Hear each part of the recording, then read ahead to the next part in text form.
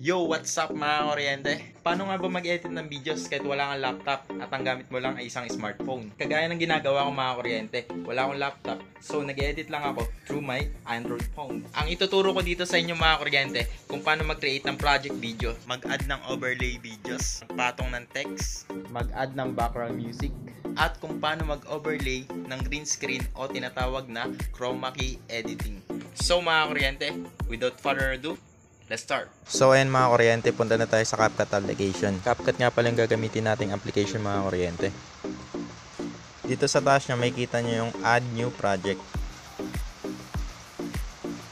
Pag pinindot nyo nga, mapupunta siya dito sa may mga videos nyo sa gallery. And then dito sa naman sa kabila yung mga photos. Dito tayo sa mga videos. Gawin nating sample yung nasa taas kami ng Ferris wheel.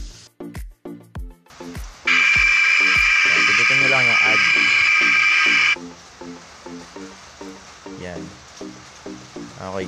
Dito mga, mga kuryente, meron na kayong project video. Then, try natin mag-add ng overlay. Dito sa bandang baba, makikita nyo yung edit, audio, text, sticker, overlay, effects. Pindutin nyo lang yung overlay. Ayan. Lalabas dyan yung add overlay. Yan. Dito nga mapupunta ulit kayo sa mga videos sa gallery and then pipili kayo kung ano yung gusto nyong video na i-overlay. Overlay natin yung sa tower drop.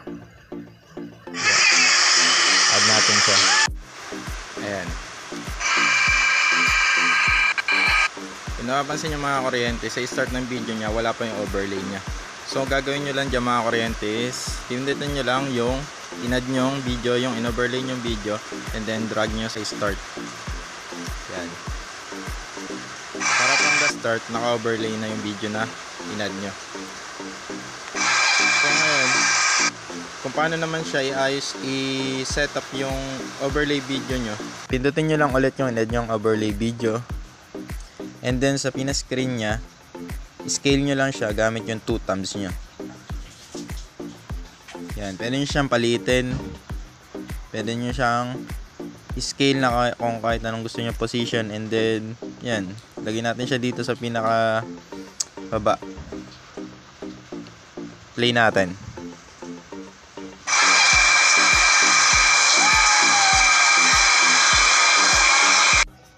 So, ayan mga kuryente, ganyan lang yung simpleng pag-add ng overlay video.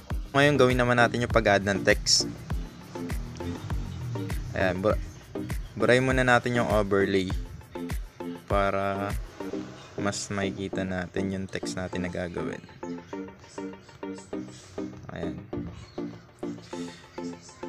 Ngayon, ayan, tingin ulit kayo dito sa banda baba. Then, makikita nyo dito yung text. Natin yung text. Ito yung mga kuryente. Add text. Yan. Ayan, so dito natin ilalagay yung caption o kaya naman subtitle ng video natin. Thank you for your support. Ayan, dito pwede nyo ring ibahin yung font niya, style, effects, and so on and so forth para mas mapaganda natin yung text natin.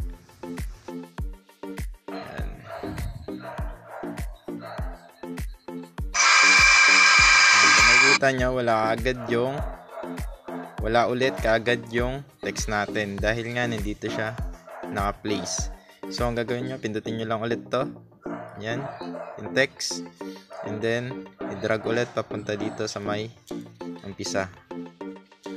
Lumagpas. Yan, sa may umpisa. Ayan, nakita nyo naman na nawala yung text niya sa bandang gitna. Dahil hanggang dito lang yung text natin. So ngayon, pindutin ulit natin yung text. And then ngayon, i-drag mo naman siya papunta doon sa hulihan ng video. Ayan. So ayan, mula umpisa hanggang dulo is mag appear yung text natin dahil na-cover niya yung buong video ng text format na ginawa natin i-ayos natin yung text niya. Lagay natin dito sa bandang baba. Ayan. I-play natin siya mga kuryente. So, ayan nga mga kuryente, hindi na napuputol yung text niya. Tuloy-tuloy lang siya hanggang sa dulo. Kung napapansin nyo mga kuryente, meron pa siyang watermark na CapCut sa dulo. Okay lang naman mga kuryente kahit hindi nyo i-remove yung watermark niya. Pero mas presentable nga lang pag walang watermark yung video nyo. So, ang gagawin mo dyan, ah, pindutin nyo lang yung, ayan, yung ending na yan. And then, sa bandang baba, merong delete na nakalagay. Ayan, pindutin nyo lang yung delete, and then, wala na siyang watermark. Next naman natin, yung paglalagay ng background music. Punta muna tayo dito sa unahan. Makikita nyo sa baba, merong sounds, effect, extracted sa record. Pindutin natin yung sounds. Ayan mga kuryente, lalabas dyan yung mga available na background music nila. May mga nakalagay naman dyan pangalan kung ano yung background music na yun. Merong gala, vlog, ito for vlogs. Ito naman yung bago, fresh, and yung mga healing na background music and warm background music, saka yung mga beat. Try natin yung for vlog. Pindutin nyo lang yung pinaka-name niya para marinig nyo yung background music bago nyo siya i-add.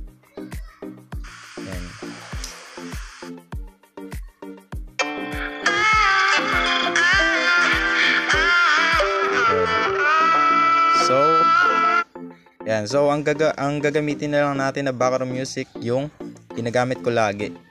Punta tayo dito sa my favorites. Yan. Ito yung sunrise. Add natin siya mga kuryente. Pindutin nyo lang yung add niya sa gilid.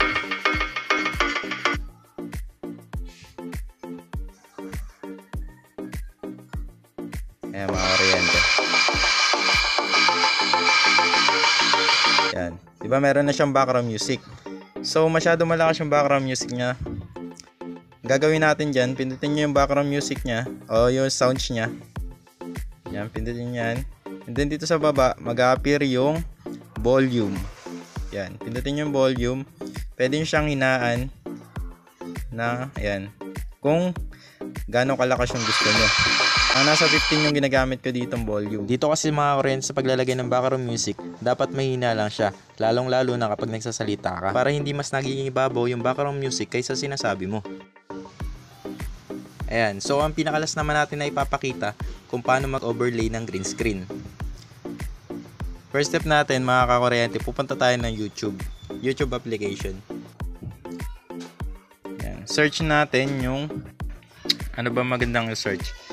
Um, search natin yung like and like and subscribe green screen. Yan mga kuryente. Eto.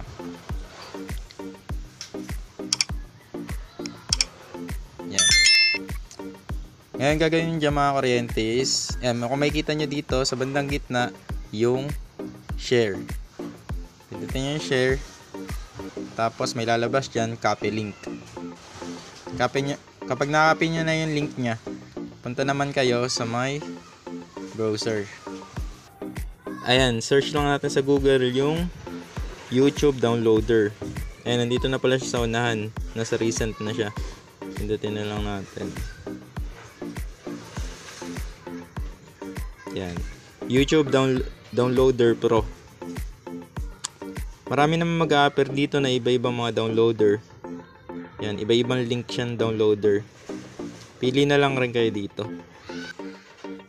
So, try natin to nasa unahan. Ayan. Gagawin nyo dito mga kuryente is, ipipaste nyo lang yung yung link dito sa may box. Sa may search box. Ayan. Ngayon, pindutin nyo yung search icon. Then, ayan, lalabas na dyan yung kaninang kinapin yung link sa YouTube. May mili na lang dito kayo kung anong quality yung gusto nyo. Download natin yung 1080 MP4 para malinaw yung video. Ayan mga kuryente. Na-download na natin siya. So ngayon, balik naman tayo sa may CapCut. Mag-add na lang tayo ng new project. Kanina nga pala nag-video ako. So, eto nga yun. Yan. Dito natin ilalagay yung green screen natin. So, ayan. Ipatong na natin yung green screen natin. Punta tayo ng overlay. Yan. Add overlay. Tapos yung dinownload natin na green screen. Yan. 'Di ba nakapatong siya sa pinaka-video natin. Ngayon, ang gagawin natin dito, ayan. Makikita nyo, ito yung pinindot ko, yung green screen, yung overlay natin. Tapos, hanapin natin dito yung sa baba, yung cutout. Yan, pindutin natin yung cutout.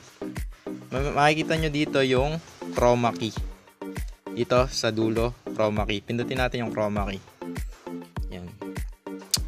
Adjust lang natin siya dito sa lumabas na yung like and subscribe. Yan. Tapos pindutin ulit natin yung chroma key. Yan, pag pinindot natin yung chroma key, makikita natin na per, meron siyang dot. Yan, kung saan nakatapat yung dot na yun, dun siya nakapokus sa kulay na yun. Yan, tapat natin siya sa green.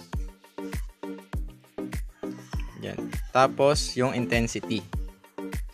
Yan, para mawala siya, i-adjust natin yung intensity niya. So, nakatapat siya sa green, di ba? Yan, kaya kapag in-adjust mo siya, yung green lang yung maapektuhan. Yan, di ba? Nawala yung green niya. Pag, ayan, pag binaba mo intensity niya, bumabalik yung green.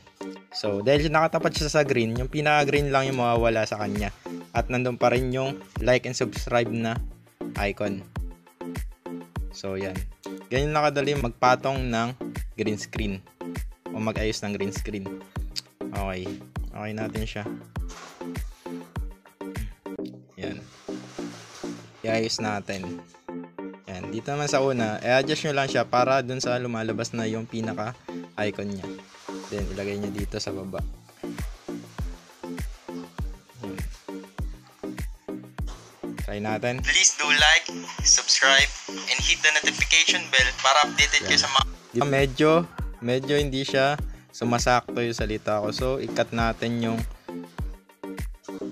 ikat natin to to like ayan cut natin dito sa banda dito tapos delete natin yung nasa unahan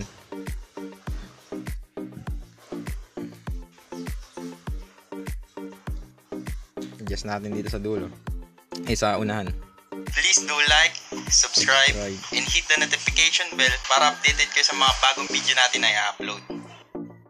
Yon. Ganun lang mga kuryente. Ganun lang kadali na mag-edit ng green screen. So, yan. Gamit nga yung chroma key. So, ayan. Delete na rin natin tong watermark. Yon. So, ganun lang mga kuryente. Thank you for watching. Peace out. Yo, shoutout nga pala sa girlfriend kong Toyo and behave ka lang dyan. Love you, be. At shoutout nga rin pala kay Ning Bernato. At ipopromote ko na nga rin yung tindahan nila sa may bayan ng Malolos, Bulacan. Kung gusto nyo makabili ng mga fresh na isda at kahit anong mga, mga seafoods, hanapin nyo lang si Ning Bernardo sa bayan ng Malolos, Bulacan. At last but not the least, shoutout sa mga samahan ko sa Pure Gold Pombong. Hindi ko na kayo isa-isahin kasi sobrang dami nyo. Thank you dahil sinusuportahan nyo at sa pagbibigay rin ng advice kung ano yung dapat kong gawin para mas mapalaki ko pa yung channel ko. Ayan mga kuryente. Thank you, thank you, thank you so much sa lahat ng mga sumusuporta sa atin. Dito na lang yung video natin. Peace out.